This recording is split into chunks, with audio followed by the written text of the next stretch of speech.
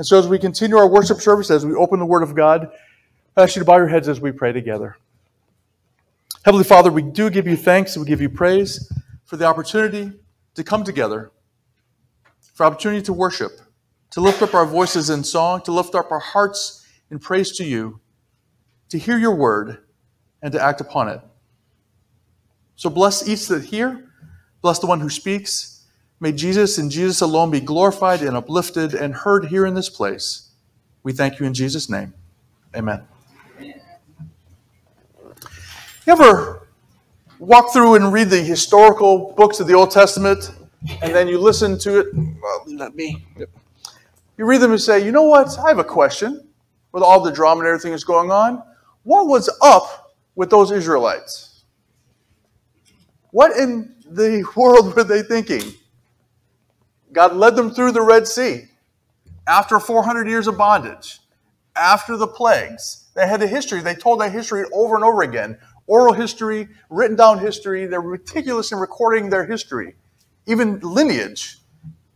Who was who begot who? Who was in whose family? They tracked all that, and they had nothing but history to show that God had been delivering them.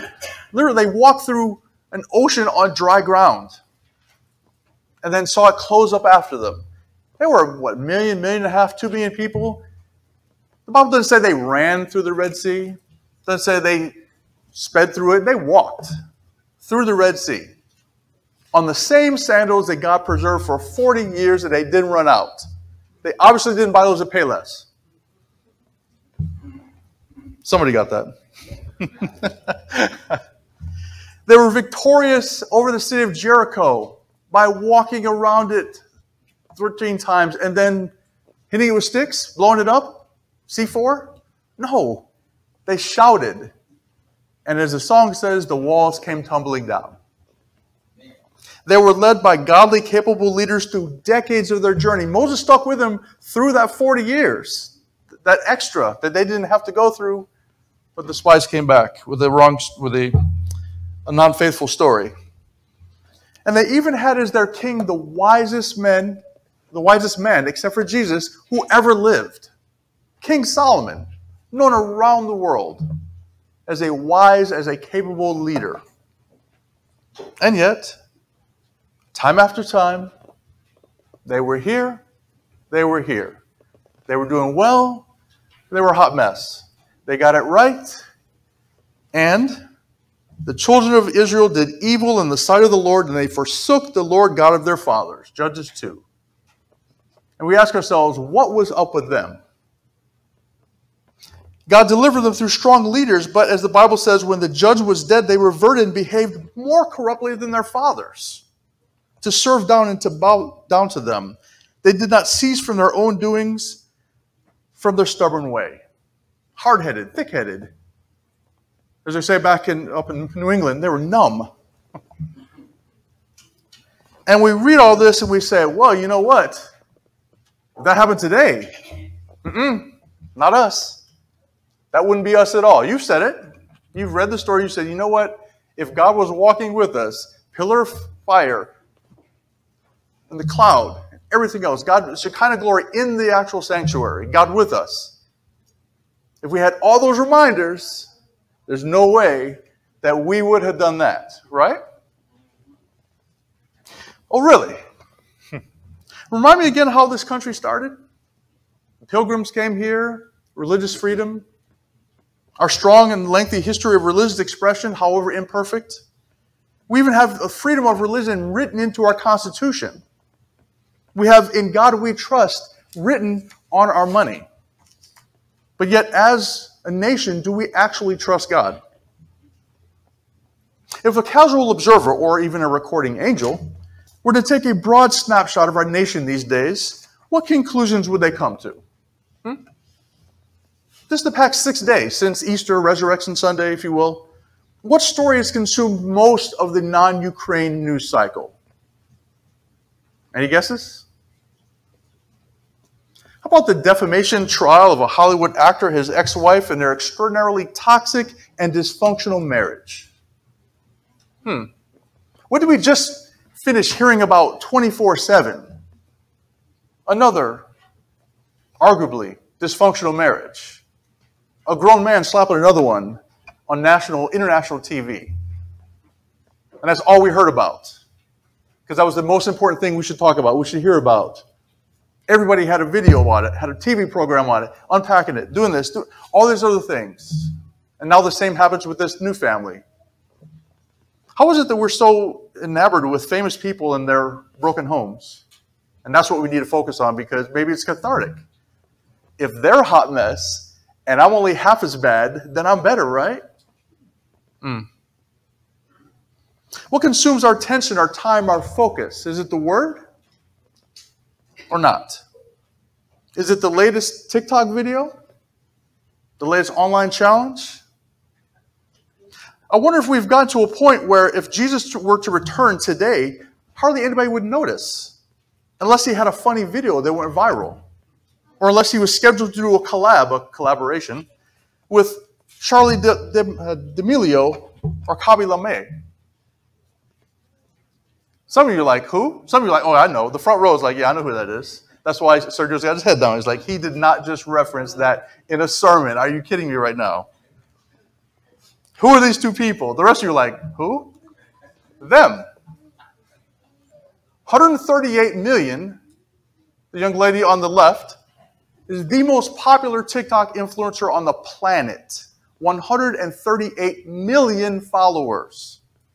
So second, a young man from Senegal who lives in Italy who does, if you've seen them, I've seen them, they're actually hilarious. Those videos where people are doing funny, odd things like contorted type little project or something, and then he does a very simple thing and he's like, some of you are like, you spend too much time on the computer. Pray for me. but can we say as a nation that we're really following and obeying God? Or do we follow the electronic and virtual idols that we have constructed? 138 million is more than a third of the population of this country, and far more than the population of most countries. And where's that let us? Real, for real. Are we in a better, more godly place?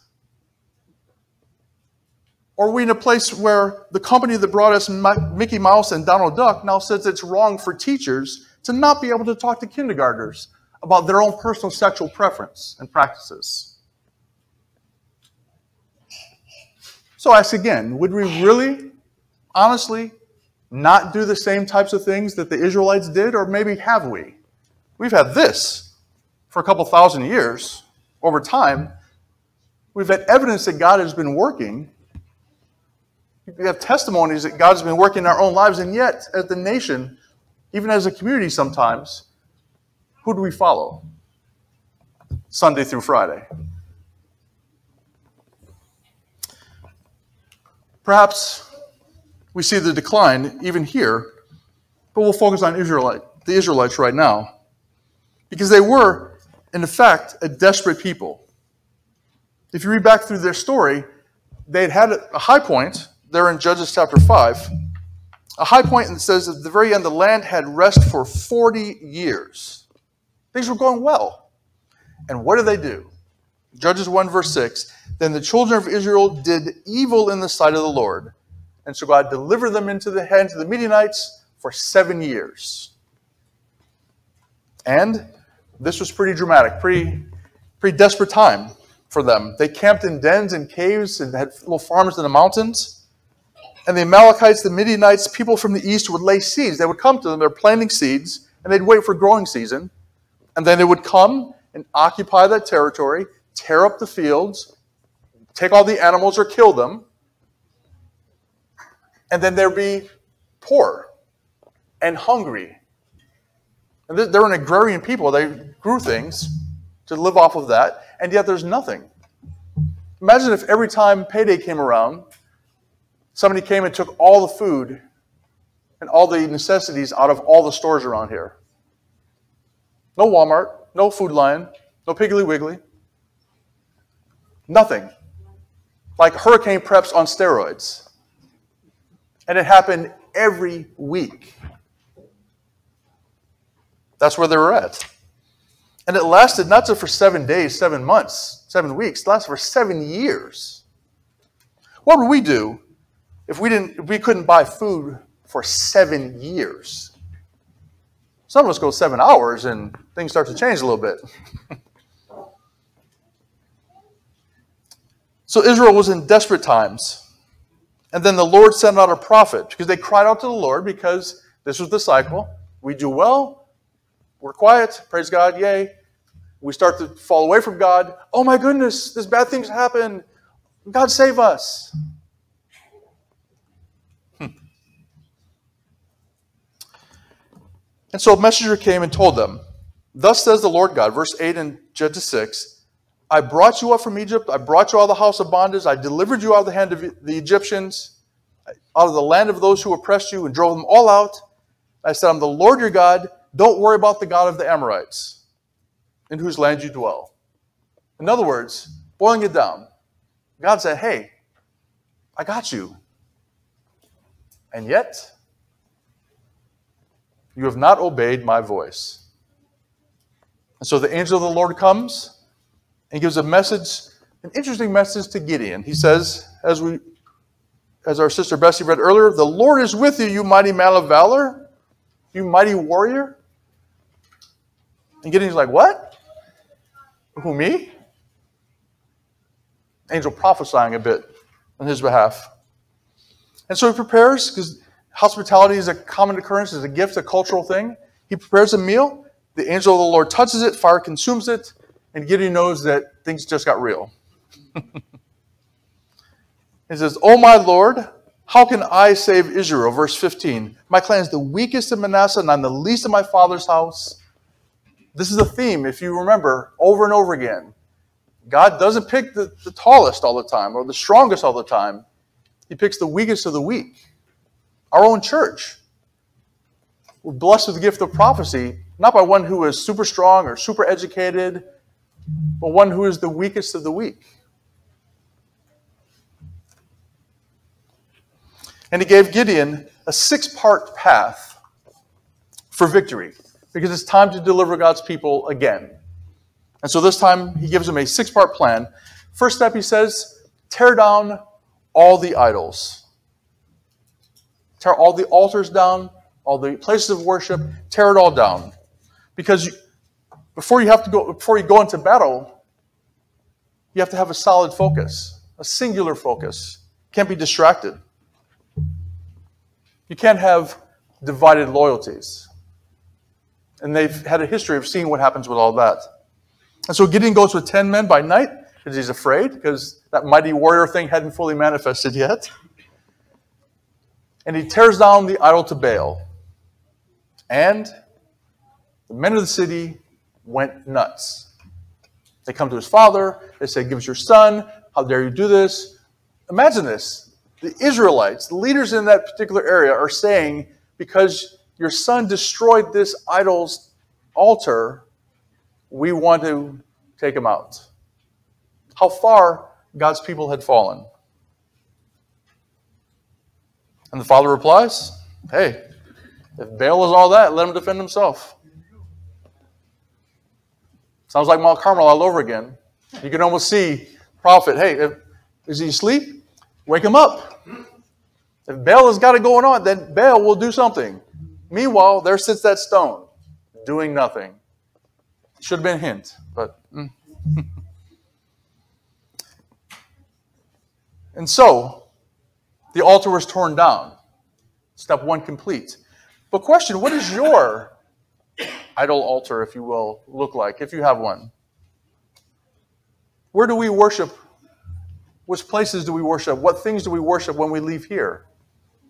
Now, the vast majority, of course, our time and everything, we worship in God. We have that morning worship, have that family time together, praying and reading through the Bible all day. You've got it on the audio app that we talked about a few weeks back. All those things you're doing that you're saturating yourselves.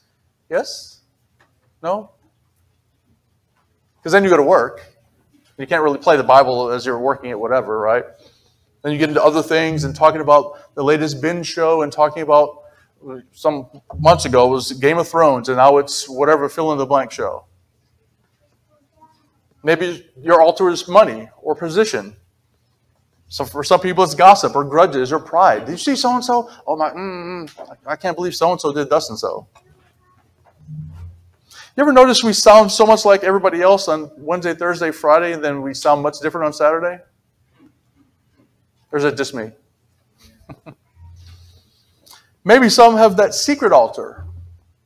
You know, the one that's hidden in here behind your lock screen. If you don't have the right fingerprint or the right PIN code or the right password, nobody knows about it, right? You can delete your history. You can block that app, right? That secret altar. Maybe it costs you a lot of money. Maybe you're like, oh, if I just get another jack, okay, oh, I got a three of a kind. Maybe something even more insidious. Maybe you're swiping left, swiping right, and your spouse is right there next to you asleep in bed. Hmm. Those altars. But back to Gideon. Judges chapter 6, the Midianites and Amalekites prep for battle. It's time to fight again because it's about that season. And they camp in the valley of Jezreel, it's called. And so we come to step two of the plan. Gideon's been told he's going to be the deliverer. He's been told he's a mighty warrior. He's not really feeling it yet, but he's taken some steps. He's on the path. And now, number two, familiar, be sure of God's call. He gathers everyone and blows a trumpet, but there's just this little problem.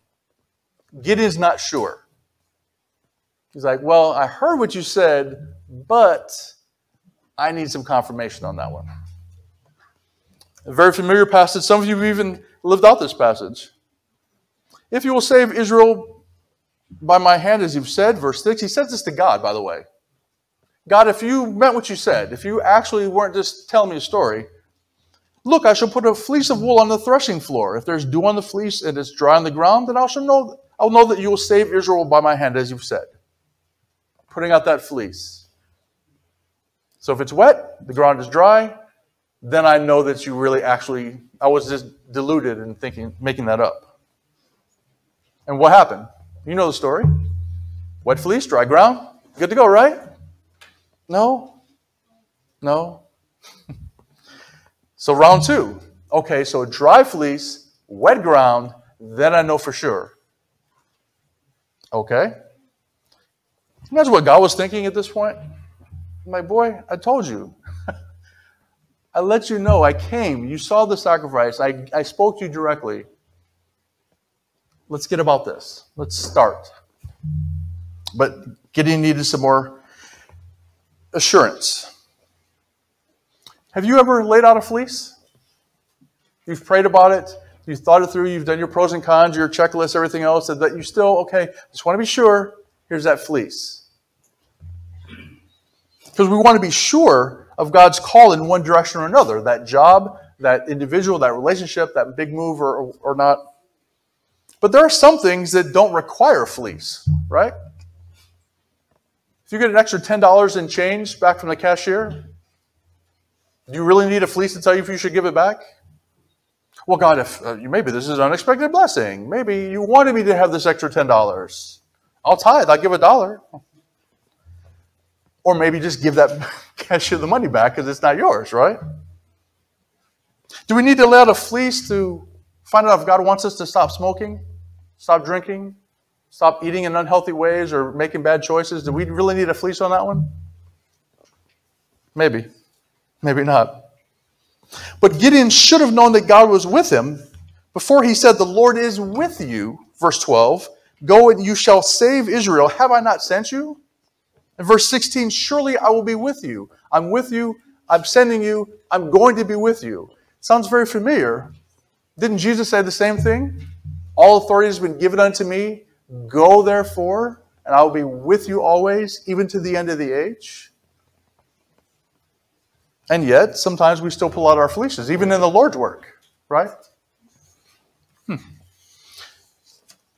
But he said, Jesus did himself to us, John 14, I will not leave you orphans. I will come to you. I stand at the door and knock. I will come into him and dine with him. Revelation 3. Revelation 21, he is our God. He will be with us. He even sealed it with his own life. Jesus was Emmanuel, God with us. And so, step two, we want to be sure of God's call. Step three, need to realize that God uses anyone and everyone he can use. Chapter 7, Gideon puts together the army. And he's got as many folks as are going to come out. It's time to fight. It's time to to liberate them from that. They had 135,000 folks. Quite a little army. Uh, wrong number, excuse me, 32,000. Wrong number. 32,000, still a good number, right? You can do a lot with 32,000. That's approaching, I don't know the exact number, that's comparable to how many folks work and live and train on the base. And so, time for, the, time for them to, to get together. But verse 2, the Lord says to Gideon, The people who are with you are too many to give the Midianites into their hands. I'm sorry, looking at the number, that, it is 135,000 and we've only got 32, that's like four to one. And you're saying we don't have, we have too many right now? So let's do some math. that was about four times the size of the army, right? So if all those are good fighters, are well trained, everything else, they still have to take out four people for every single one of them. How many of you been in the military before? Or still in currently? One, they got oh what's a this and that. Any any military minds thinking that's a good plan to cut down your your troop. You want to get more, right? Marines don't need they're like 40 people and like uh, an MRE and they're good. yes. But four to one odds, that's still not good. And God says, way too many. And so he's going to have a test. Whoever is fearful and afraid, Go home.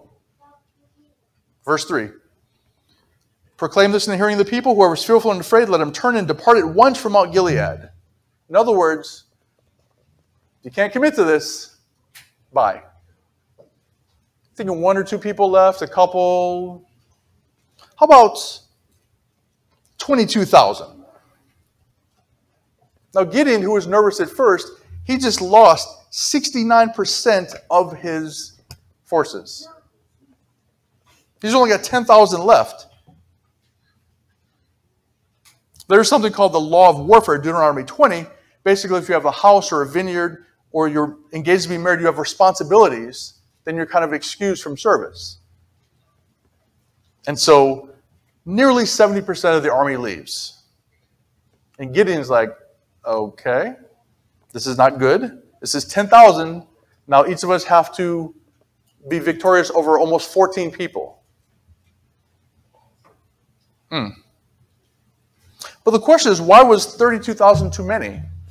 But God says, Lest Israel claim glory for itself against me, saying, My own hand has saved me. Okay. So we're good right now? 10,000? We're good? It's a lot? Not as many? We'll make it happen. Strategy. Get them in a narrow place we can kind of attack from above. Well, okay, we can do something with this. But God, knowing us so well and knowing his people so well, you know, there's something about human nature that the more resources we have, the more self sufficient we become. And so, another test. It's hot out. They're going to go to the river and get some water. He says, okay, let everybody drink. And Gideon stands back. You know the story. And some of them, they're kneeling down, and they're all the way down, and they're just drinking, drinking, drinking, face all the way down. And some, doing this. Hmm. Interesting, two choices. But what's the big deal? I mean, what's the big deal that out of 10,000, only 300 were left, the ones who knelt down and kept looking as they took some water? The big deal is that all 10,000 thought they were heading into battle. They were in enemy territory. The, other, the troops could have attacked them at any time, but they put their own wants ahead of their duty. If you're looking down and, and slapping at water like this, you can't see what's going on. No, no perception at all. No situational awareness, as they say. So anybody can come and attack you. So they put their own wants ahead of their duty. Their mind, their heart wasn't really in it the way it needed to be. And so now it's down to 300 people. You might say, well, that's an odd way to kind of pare down the numbers. But think of Matthew 14, the feeding of the 5,000. Jesus is there. He's got the 12 apostles. The little boy brought his lunch, loaves and fishes. You know the story. Quick question When did the disciples eat? When did Jesus eat? It was after all the people ate, after they, they picked up, not coincidentally, 12 baskets of scraps. How many apostles were there? 12? We don't really get a picture or see any time where Jesus is grabbing some fish and bread, sitting down. No, no, go on, finish, finish. And he's eating while they served. The disciples put others' needs and duty ahead of their own comfort, ahead of their own needs. So now in Gideon's army, we're down to 0.9% of the original number. Super low. Not 1%, not 10%, less than 1% of the folks who are left over. In other words, if we're doing the math, it's one Israelite to 450 Amalekites. Anybody want to take those odds? Any, any Marines want to take those odds? Emery? No? you might do okay with 1 to 4. 1 to 10 if you got some mechanized assistance. But 1 to 100, 450, it's going to be quick. It's going to be painful. It's going to be a wipeout. How can 300 go against 135,000? Well, I read a, slang, a saying somewhere that, well, one with God is a majority. 2 Kings, 2 Kings 1935, one angel took out 185,000 people. Hmm, maybe the 300 have a chance. Could God, couldn't God have used all 32,000 though? He did it other times, large armies, large battles. Joshua 4, he used 40,000. 1 Samuel 15, he used 210,000. Judges 20, he used 200 or 400,000. God can use big armies, can use big groups. But the key point is this God will fulfill his will through those who are willing to be filled. The 97% wasn't, wasn't worthy, or weren't uh, willing, I should say. God can do amazing things through a few who are devoted to Him. Mm, so quiet right now. Let me say it one more time. Maybe that was in, in, in Spanish. God can do big things through small groups of people, through individuals, if they're willing to be filled. And so we've been through the first three steps tear down the idols, be sure of the call, reminding ourselves that God can use anyone and everyone He can use. But also, there are times where it's going to be hard, and God's there to encourage. Judges 7 9 through 11, it says this The people took provisions, trumpets in their hands. Verse 8, He sent everyone away except for the 300, and the camp of Midian's down there in the valley. It's almost time to battle. And the Lord says, Arise and go down into go against the camp, for I've delivered it into your hand. But if you're afraid to go, go there with your servant. And you shall hear what they say, and afterwards your hand shall be strengthened. And so he and his servant Purah go down and they, they sneak down and see what's going on in the camp. And they hear these two people talking. A man telling a dream to his companion. I've had a dream, and he goes on, outlines the dream. And his companion says, This is nothing else but the sword of Gideon, a man of Israel, and God has delivered Midian and the whole camp into his hand. This is the enemy saying this. And Gideon just happens to, you know, the odds of coming upon the one or two out of 135,000 who had this dream and this discussion? And he just happens to come down and happens to hear this that even the, the Amalekites are saying, the, the, um, the Midianites are saying, we're going to lose. Hmm. It's a word of encouragement. Because God always has the right time and the right words to encourage us when times get rough. Think of Elijah. He had that big Mount Carmel showdown. God was victorious, and yet he flees from Jezebel. He's in the cave having a pity party. Birds bringing him food, and he's drinking this water. And he's saying, Oh, it's only me. And God says, No, no, I've thousands more people. You're not the only one. John the Baptist in prison, encouragement. Jesus' own baptism. This is my son in whom I well pleased. The of Transfiguration, Moses and Elijah encouraging Jesus as he's entering into this time of trial.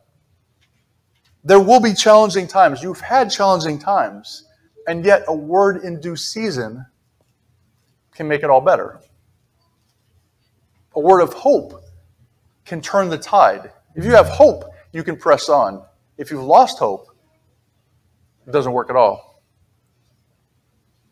So the question for us is are we, in the midst of all this anxiety, all this stress, all this life that's happening, are we on a daily basis an encouraging people, an affirming people? Do we share a word of hope with somebody who's struggling? Next step make a plan. Now, we know, we've heard, that a plan only survives until first contact. I'm paraphrasing, obviously. But here's the plan that, that uh, Joshua, or excuse me, Gideon came up with, that God inspired. He says, divide them into three groups. So, not 300 in one big mass, but three groups of 100. And they're going to bring what? A trumpet, a torch, and a pitcher. Again, we're back to the strategy thing. No swords, no spears, no slingshots, no weapons of any kind. Trumpet, pitcher, torch. Now, if I'm reading the story and not knowing how the end goes, I'm thinking Gideon might not be quite that mighty warrior that, uh, that we'd heard about. Nobody's got a sword? Really? But what was their battle cry? The sword of the Lord and of the Spirit or excuse me, of Gideon. Hmm. Okay. So they're going into battle. This is their plan. Reminds you of um, going around Jericho 13 times. Doesn't seem like it'll work, but then let's see what happens. Because we need to remember and realize who actually gives the victory. That was Gideon's masterful strategy the reason why they won? No. There are massive numbers, all hundreds and hundreds of thousands of people who attacked the Amalekites and the, and the Midianites and just drove them away. Was that it? Mm-mm. It was their faith, it was their commitment, it was their trust, and God came through. Judges 7:22, the Lord set every man's sword against his companion. The Midianites and Amalekites fought themselves, took themselves out. When the pitchers were smashed, and they saw the torches, the trumpets were blown. They took themselves out. And 300 people beat 135,000. I'm sorry, 300 people and one, which made all the difference. So the question is, okay, thanks, appreciate it. Thanks for sharing the story. It's 12:30. What's this all mean? I'm hungry, trying to get that lunch going. Blood sugar's a little bit low. How does this apply to us? thousands of years later? So glad you asked. What do you think God wants to do here in Jacksonville in Onslow County, 2022, 2023? I'll give you a hint. The Son of Man came to seek and to save that which was lost. And he tells his followers, Go therefore and make disciples and baptize them and teach them to observe all things that I've commanded you. Sounds like a plan. But you say, well, um, by the way, there's only a few of us here. I'm just eyeballing this. If, if we have 80 people in here, I'd be surprised. We're probably more like 50, 60 ish, if that, at the moment. Plus the Spanish church is that on 15 more folks. We're less than 100, right? How many folks in Onslow County, roughly? 100 plus thousand? and as you expand it out, thousands and thousands of people. We're about let's let's go friendly uh, friends and family, inviting other folks. We're 100 people, let's say. How in the world are we going to reach thousands of people with the small number that we have here? Well, With two people, God started the human race. With eight people, he brought that race back from the abyss. Just eight people in the ark. With 12 people, God turned the world upside down. And in January 1862 in Washington, New Hampshire, 14 people started a movement. I should say, God started a movement through 14 people. In that cold church. Had the, opportunity when we were pastoring in, in New England to preach at that church. This is way more comfortable. Trust me, they don't even have a furnace in that church. So it's wintertime because Maine winters are actually cold, believe it or not, with snow, especially in New Hampshire. And so that little church, 14 people, started a worldwide movement that God directed and guided. 21.9 million members worldwide. 212 out of 235 countries that the Seventh day Adventist Church is in messages and preaching and, and ministry in 535 different languages. Over 9,400 schools that serve more than 2 million students around the world. We have 229 hospitals and sanitariums, more than 1,600 clinics, with more than a million inpatient and 21 million outpatient visits every single year. And ADRA, Adventist Development and Relief Agency, is in more than 130 countries more than 1,500 projects, more than almost 21 million people worldwide that have benefited. They're in Ukraine right now helping folks. And all this from a little church in Washington, New Hampshire, with no furnace, wooden pews, literally 90 degrees, solid wood, still the same ones. 22 million members in the movement. Seventh day Adventist Church started from 14. Hmm. So, what could he do with us here in Jacksonville? What could happen here if God's people in these, within these walls, and God has people outside, don't, don't misunderstand, what could God do with us and through us here in Jacksonville. I'd say he's got a six step plan. We've kind of outlined it. Tear down the idols, be sure of his call. Remember, he can use any and all of us as we encourage each other and as we have a plan. Not just, well, let's go talk to people, let's preach, let's share the gospel, make a sign. But also give God the glory. Because none of this is going to happen without Him blessing it and encouraging it and uplifting it and creating those divine appointments that make it all happen. Amen. Because God fulfills His will through those who are willing to be filled. So next week we will talk about, we'll start to talk a bit about God's plan for us here. We've talked about it as elders and, and recommended it. We voted on it as a church board, and it's a plan that's going to help us establish a culture uh, I'll find the slide later.